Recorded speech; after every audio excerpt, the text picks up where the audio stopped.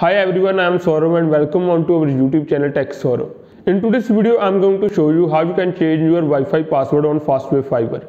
So without any delay, let's start our today's video. But before starting this video, if you never subscribe our channel, just subscribe must the channel and press the bell notification on all for the latest update from our channel. So without any delay, let's start our today's video. So friends, to change your Wi-Fi password, you have to first open your Chrome browser onto your laptop or mobile.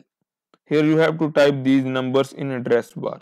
Numbers are 192.168.1.1. After press enter, you will get a login page. Here you have to enter username or password. In username, you have to enter admin. For password, check back of your modem. If that password is not working, contact your internet service provider. But if you have any password, you have to enter here. After a successful login, you will get this type of interface. Here you will get device list, WLAN device list, WLAN devices, LAN devices, USB devices, voice over IP. Also you will get 5 tabs. Home, Internet, Local Internet, Voice over IP Management and Diagnosis.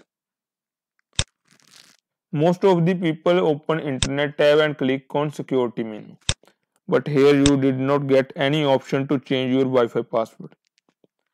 To change your Wi-Fi password, you have to simply click on local network option. Here you will get many options, but you have to simply click on WLAN option.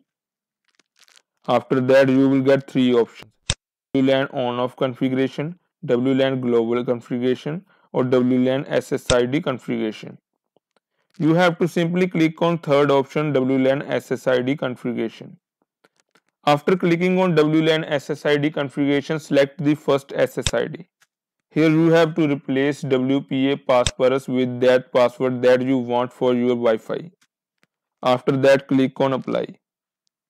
Here I am using dual band supported Wi-Fi so I am also changing my 5G band password. After replacing WPA passphrase, you have to simply click on apply. After that your Wi-Fi password is successfully changed. So that's enough for our today's video. Don't forget to like this video and also subscribe this channel. Thanks for watching.